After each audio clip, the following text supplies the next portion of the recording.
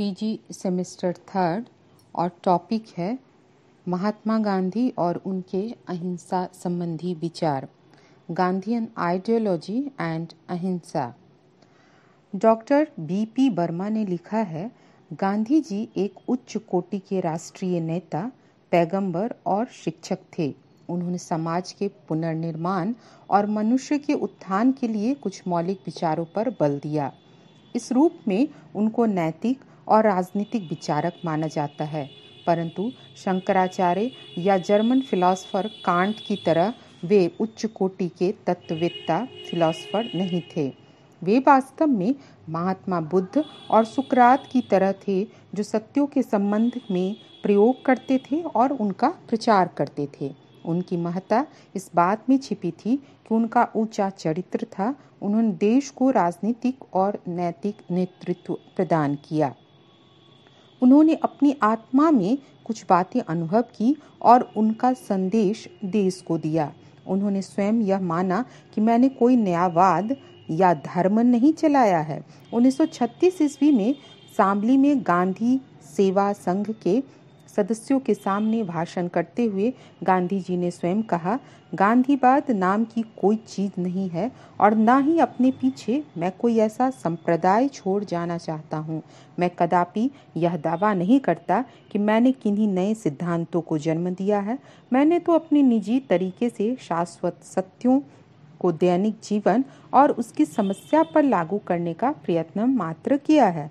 मैंने तो संपत्तियाँ बनाई हैं और जिन परिमा, परिमाणों पर पहुँचा हूँ, वे अंतिम नहीं हैं। मैं उन्हें कल भी बदल सकता हूँ। मुझे संसार को कुछ भी नया नहीं सिखाना है। सत्य और अहिंसा इतने ही पुराने हैं जितनी कि इस देश की पहाड़ियाँ हैं। मैंने केवल व्यापक आधार पर सत्य और अहिंसा के क्षेत्रों में अपनी शक्ति के अनुसार परीक्षा करने का यत्न किया है। मैंने दर्शन जिसे आपने गांधीवाद का नाम दिया है, सत्य और अहिंसा में निहित हैं। आप इसे गांधीवाद के नाम से न पुकारें, क्योंकि इसमें कोई बात तो है ही नहीं।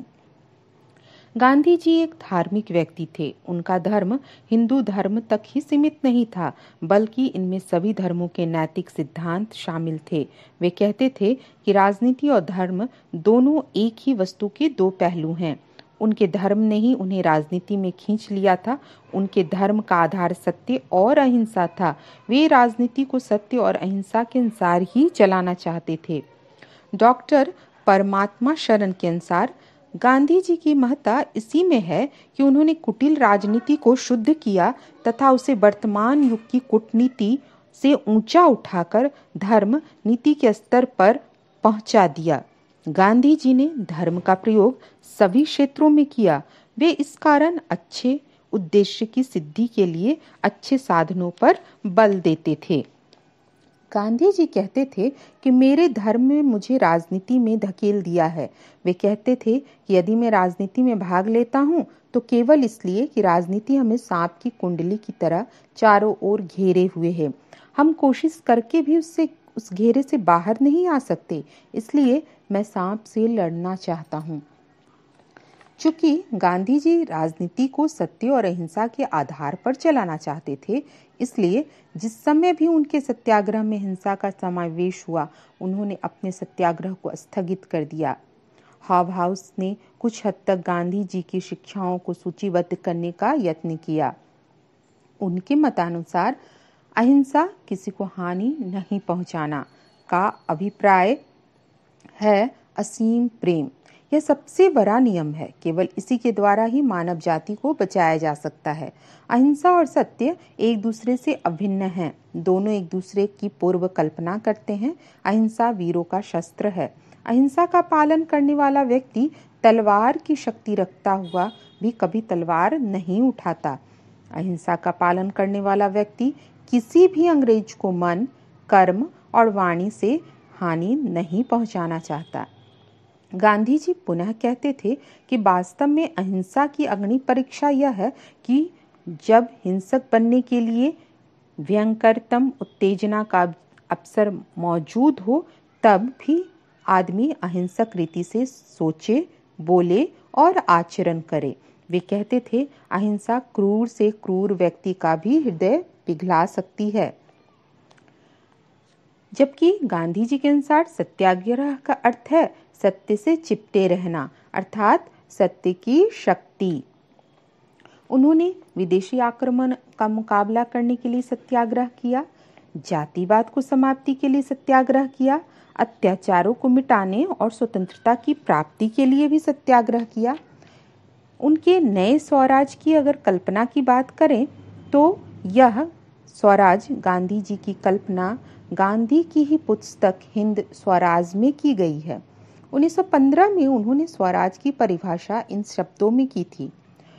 स्वराज से मेरा अभिप्राय भारत की उस सरकार से है जो स्त्री, पुरुष, वासी, आदिवासी, किसी का भेद किए बिना ऐसी बालिक जनता के बहुमत से बनी हो, जो राज्य को अपना श्रम देते हो और जिन्होंने मतदाता सूची में स्वयं अपना दर्ज करा लिया हो। मुझे आशा है स्वराज थोड़े से लोगों के सत्याग्रह करने से नहीं आएगा, बल्कि स्वराज तब होगा जब सभी में इतनी सामर्थ्य आ जाए कि वे सत्ता का दुरुपयोग होने पर सत्ताधिकारियों का विरोध कर सके। दूसरे शब्दों में, स्वराज की प्राप्ति तब होगी जब जनता को इतना शिक्षित कर दिया जाए कि वह सत्ता का संतुलन और नियंत्रण कर सके। अहिंसात्मक राज्य की कल्पना। गांधी जी राज्य को साध्य नहीं मानते थे, बल्कि इसको जनता की भलाई के लिए एक साधन मानते थे।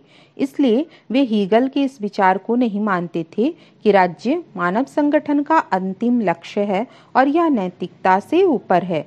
वे मुसोलिनी के सिद्धांत को भी नहीं मानने को तैयार थे कि राज्य सबके ऊपर है और राज्य के बाहर कुछ भी नहीं और राज्य के विरुद्ध भी कुछ भी नहीं। वे राज्य को सबसे ऊँचा रूप भी मानने को तैयार नहीं थे। वे तो राज्य को जनता की अधिक से अधिक भलाई के लिए एक साधन मात्र मानते थे। वे राज्य को कोई विशेष पवित्र संस्था भी मानने को तैयार नहीं थे। यद्यपि वे स्वयं कानून को मानने वाले नागरिक थे, परंतु वे अत्याचारी कानूनों के विरुद्ध व्यक्ति की अहिंसात्मक ढंग से विरोध करने की आज्ञा भी देते थे। उन्होंने स्वयं सविनय अवज्ञा आंदोलन के समय सरकार के अनुचित नमक के कानूनों को तोड़ा। वे चाहते थे कि जनता को ऐसी ट्रेनिंग दी जाए जिससे वह सरकार का नियंत्रण तथा नियमन कर सके।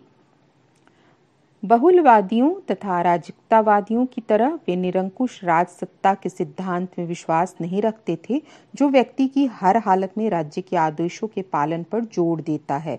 वे वास्तव में लोगों की राजसत्ता में विश्वास रखते थे और इसका आधार नैतिक मानते थे। यद्यपि गांधी जी राज्य की आज्ञा का उल्लंघन करने का व्यक्ति को अधिकार देते थे ताकि राज्य अपनी शक्तियों का दुरुपयोग न कर सके, परंतु वे आरक्षकता फैलाने के पक्ष में कतई नहीं थे और इसी वास्ते नागरिक को हिंसात्मक ढंग से विरोध करने के लिए मना करते थे। वे अहिंसात्मक राज्य में अन्याय तथा आक्रमण के विरुद्ध प्रतिरक्षा का पूर्ण विकेंद्रीकरण करना चाहते थे। वे ग्रामों और प्रत्येक नागरिक को सारे संसार से अपनी स्वतंत्रता की रक्षा के लिए समर्थ बनाना चाहते थे।